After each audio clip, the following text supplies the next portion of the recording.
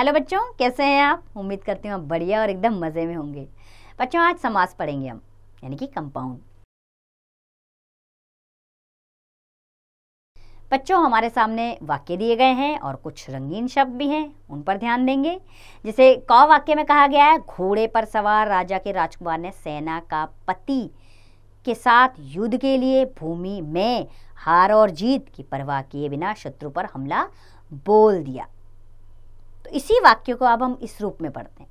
घुड़सवार राजकुमार ने सेनापति के साथ युद्ध भूमि में हार जीत की परवाह किए बिना शत्रु पर हमला बोल दिया। और दूसरा वाक्य है, वाक्यों में कुछ शब्दों को संक्षिप्त करके भी लिखा गया है। जैसे कि, शब्द है राजा का कुमार, यानी कि राजकुमार, सेना का पति, सेनापति, युद्ध के लिए भूमि, यानी युद्ध भूमि हार और जीत, हार जीत, घोड़े पर सवार, घुड़सवार। तो बच्चों शब्दों के ये संक्षिप्त रूप समास के उदाहरण है। सम्मन्नम संक्षेपीकरण इति समास। अर्थात, समास से तात्पर्य है संक्षेपीकरण, यानी कि छोटा। जब दो या दो से अधिक शब्दों के मेल से एक नया शब्द बनाया जाता है तो इस शब्द रचना की विधि को समास कहते हैं। आइए पढ़ें समस्त पद के बारे में। समास रचना में दो शब्द, यानी पद होते हैं। जिनमें पहले शब्द को पूर्व पद यानी पहला पद और दूसरे शब्द को उत्तर पद यानी दूसरा पद कहा जाता है। इन दोनों के मेल से बना शब्द समस्त पद या सामासिक शब्द कहलाता है।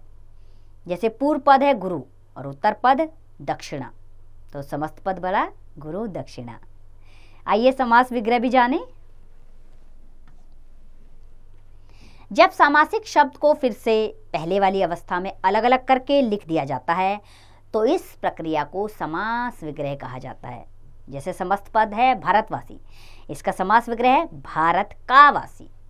महाराजा समस्त पद है तो महान है जो राजा, ये इसका समास विग्रह है। समास के भेद जान लेते हैं। बच्चों, अर्थ के आधार पर समास छह प्रकार के होते हैं।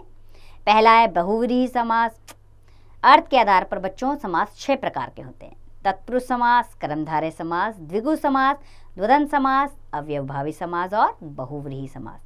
अब हमें इन्हें एक एक करके विस्तार से हम जानेंगे। पहला है तत्पुरुष समास। जिस समास में दूसरा पद प्रधान होता है और पहले खंड के विभक्ति चिन्हों, यानी प्रसगों का लोप कर दिया जाता है, उसे तत्पुरुष समास कहते हैं। जिसे राजा का कुमार, राजकुमार, जेब के लिए खर्च, यानी कि कारक चिन्ह, गायब। जेब के लिए खर्च, जेब खर्च। तत्पुरुष समास के भेद जान लेते हैं। बच्चों विभक्तियों के नामों के अनुसार छह भेद हैं तत्पुरुष समास के। पहला है कर्ण तत्पुरुष। इसमें कर्म कारक की विभक्ति को का लोप हो जाता है, यानी कि को गायब हो जाएगी विभक्ति। जैसे माखन को चुराने वाला, माखन चोर, को विभक्ति गायब। सबको प्रिय सर्व प्रिय स्वर्ग को प्राप्त, स्वर्ग प्राप्त। ग्रंथ को रचने वाला ग्रंथाकार समस्त पद बना इसका। यश को प्राप्त ये बना यश प्राप्त चिड़िया को मारने वाला चिड़ी मार। और दूसरा है करण तत्पुरुष। इसमें करण कारक की विभक्ति से का लोप हो जाता है। जैसे तुलसी द्वारा या से कृत, तुलसी कृत। मन से चाहा, मन चाहा। जन से रोगी, जन रोगी। अनुभव से जन्य अनुभजन्य रेखा से अंकित, रेखांकित। मध से अंधा, मदांत। और अगला है संप्रदान तत्पुरुष। इसमें संप्रदान की विभक्ति के लिए का लोप पाया जाता है, जैसे हवन के लिए सामग्री, हवन सामग्री। देश के लिए भक्ति देश भक्ति यज्ञ के लिए शाला, यज्ञशाला। क्रीड़ा के लिए क्षेत्र, क्रीड़ा क्षेत्र। राह के लिए खर्च, राह खर्च। पाठ के लिए शाला, पाठशाला। रसोई के लिए घर, रसोई घर। गुरु के लिए दक्षिणा, गुरु दक्षिणा। और अगला है चौथा अपादान तत्पुरुष। इसमें अपादान कारक विभक्ति से का लोप पाया जाता है, जैसे आकाश से आई वाणी, आकाशवाणी, भय से भीत, भय भीत। देश से निकाला, देश निकाला, पथ से भ्रष्ट, पथ भ्रष्ट। गुण से हीन, गुणहीन, ऋण से मुक्त ऋण मुक्त पाप से मुक्त, पाप मुक्त, जल से हीन जलहीन और अगला है संबंध तत्पुरुष। इसमें संबंध कारक की विभक्ति काके की का लोप पाया जाता है, जैसे मृग का शावक, मृग शावक, राजा का महल, राजमहल, गंगा का जल, गंगा जल, पवन का पुत्र, पवन पुत्र, राम की कहानी, राम कहानी। राजा की आज्ञा राज्ञा राजा की आज्ञा राजाज्ञा देव का आलय, देवालय, देश की रक्षा, देश रक्षा। और अगला है अधिकरण तत्पुरुष। बच्चों, इसमें अधिकरण तत्पुरुष की विभक्ति में पर का लोप पाया जाता है। जैसे कि ग्राम में वास, ग्राम वास। कला में प्रवीण, कला प्रवीण शोक में मग्न, शोक मग्न, अपने में बीती, आप बीती। घोड़े पर सवार घुड़सवार पुरुषों में उत्तम, पुरुषोत्तम। वन में वास वनवास दान में वीर दानवीर चलिए अब अगले समास की ओर बढ़े। दूसरा समास है अव्यव भाव समास। बच्चों, अव्यव भाव समास का शाब्दिक अर्थ अवयव हो जाना है। इसमें पहला खंड अवयव प्रधान होता है, अर्थात अवयव होता है, और समस्त पद से अवयव का बोध होता है।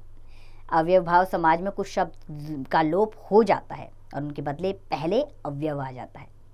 जैसे आ, जमा, जन आजन इसका समस्त पद। अविग्रह, जन से। नी, जमा, डर, निडर, बिना डर के। प्रति, जमा, पल, प्रतिपल, यानी विग्रह हुआ हर पल। यथा, जमा, शक्ति, यथाशक्ति। शक्ति के अनुसार। अनुजमा रूप, अनुरूप, रूप के योग्य। और तीसरा समास है कर्णधार्य समास। जिसका पहला खंड विशेषण और दूसरा विशेष्य हो, अथवा पहला खंड उपमान और दूसरा उपमेय हो, उसे कर्णधार्य समास कहते हैं। जैसे नील है जो कंठ, नीलकंठ, चंद्र के समान मुख, चंद्रमुख। पीत, यानी पीले हैं जो अंबर पिताम्बर महान है जो रानी, महारानी। आधा है जो मरा अध मरा देहरूपी लता, देह लता। परम है जो आनंद, परमानंद। मृग के समान नयन, मृग नयन। प्राणों के समान प्रिय, प्राण प्रिय। लाल है जो मणि, लाल मणि। चौथा समाज है हमारा, द्विगु समास जहाँ पहला पद संख्यावाचक हो और समस्त पद समूहवाचक हो, उसे द्विगु समास कहते हैं। जैसे कि विग्रह है चार आनों का समूह, इसका समस्त पद बना चवन्नी।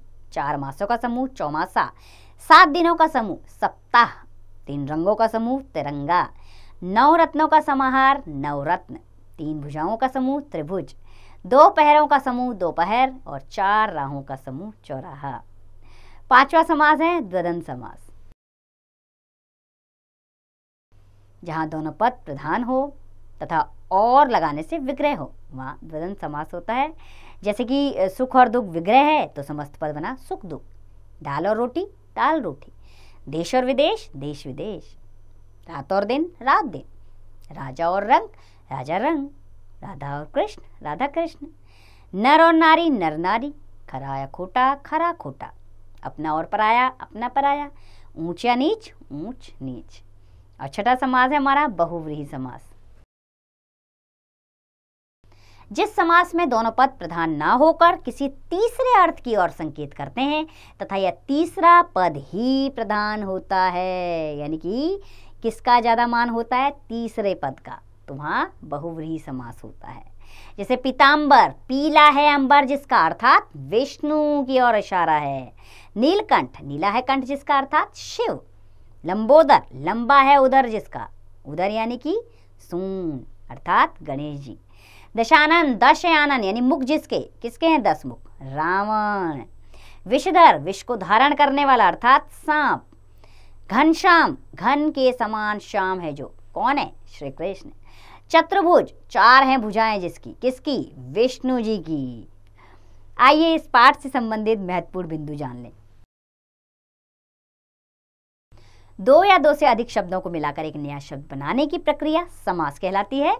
समास युक्त पद को समस्त पद कहते हैं। समस्त पद के सभी पदों को अलग अलग करने की प्रक्रिया समास विग्रह कहलाती है। तत्पुरुष समाज में दूसरा पद प्रधान होता है तथा दोनों पदों के बीच आने वाले प्रसंगों का लोप हो जाता है।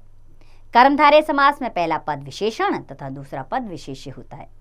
द्विगु समाज में पहला पद संख्यावाची होता है और बहुवीरी समाज में दोनों पदों के मेल से तीसरा अर्थ निकलता है। द्वंद समाज में दो या अधिक शब्दों के जोड़े होते हैं। और अव्ययभावी समास का पहला पद अव्यव होता है। तो उम्मीद करती हूँ बच्चों, आपको समास अच्छे से समझ आया होगा। आप जान गए होंगे इसके भेदों के बारे में भी। अब इसका अभ्यास कार्य आप स्वयं कीजिए।